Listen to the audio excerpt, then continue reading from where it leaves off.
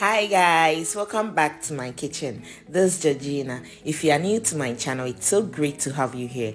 In today's recipe, I want to share with you how I make my egusi soup. As they say, there are so many ways to kill a cat. There are also so many ways to make your egusi soup. So this is how I make mine and I want to share it with you guys. It's so, so delicious. Let's get started. So for the protein, I'm going to use goat meat.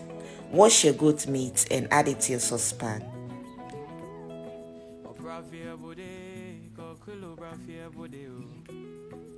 I'm also going to add in smoked chicken. So I'm going to um, um, chop up my veggies and blend it, add it to the chicken and the goat meat. So I have ginger, garlic, habanero pepper and onion. I'm going to blend it till smooth and add it to the goat meat.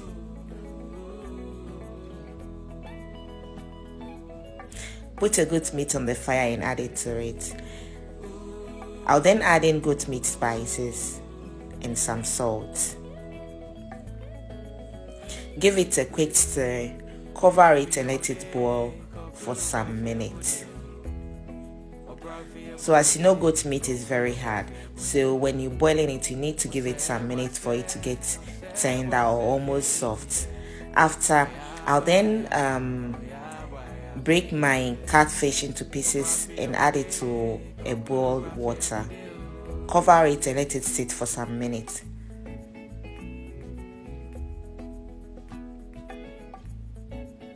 So the boiled water um, helps it to soften it before adding it to the soup. So I'll cover it and set it aside. By then your goat meat should be halfway cooked. Give it a stir and check if it's still hard. If not, let it cook again until it's almost tender. At this point, you want to go ahead and chop up your veggies. I have red chili pepper, habanero pepper, red bell pepper, and uh, yellow bell pepper. I'll chop it into smaller pieces, add it to my blender, and blend. So I used only one fresh tomatoes for this. Some people don't use tomatoes at all, but it's it's optional.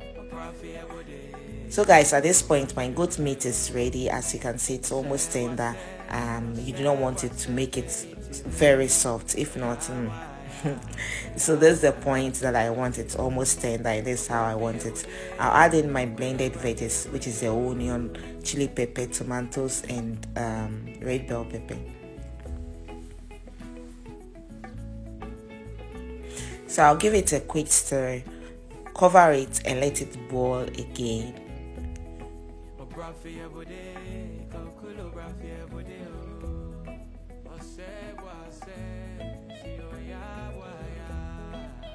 So I make it boil for some minutes and guys as you can see the um the veggies that I put it that I put earlier on as is almost cooked.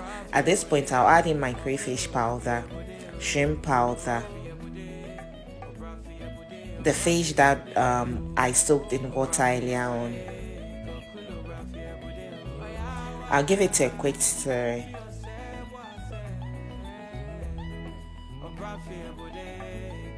And add in some water. So I'll go ahead and add in one shrimp cube and stir it again. So you can add in more water if needed.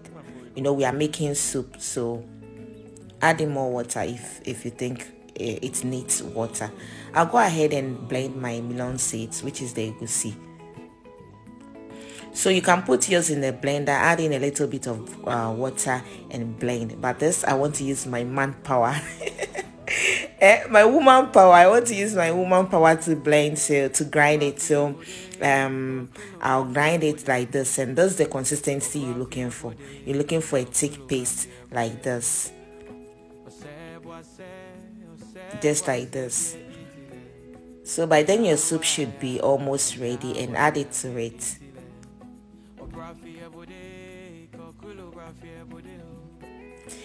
Making this is very very easy. It's easy making this. You just have to follow the steps and guys you're good to go so I waited for some time for the egusi to cook.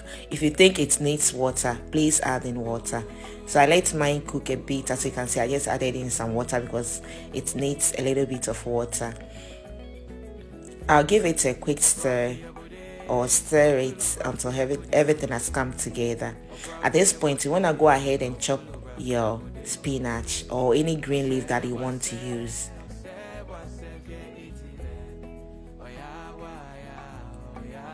I'll go ahead and preheat my palm oil, adding um, red onion to um, steam it.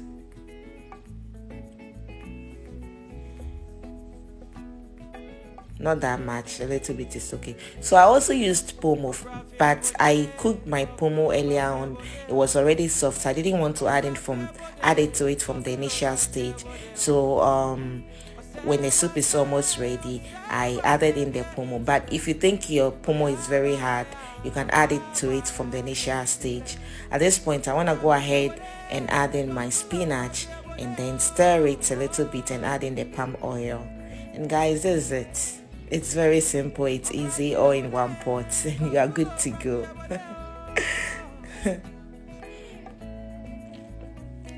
so I'll stir it a little bit, let it cook for some few minutes, and guys, when you get to this point, congratulations, you've reached your destinations. You've made yourself egusi soup, and trust me, this turned out so so delicious, guys. You can't imagine. Turned out so, so delicious and it was very very yummy guys. I hope you enjoyed watching this video please don't forget to give this video a thumbs up like comment um, subscribe to my channel follow my page.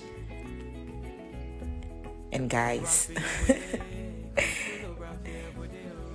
people some people enjoy it with um, how do they call it? With pounded yam but i like mine with um, eba.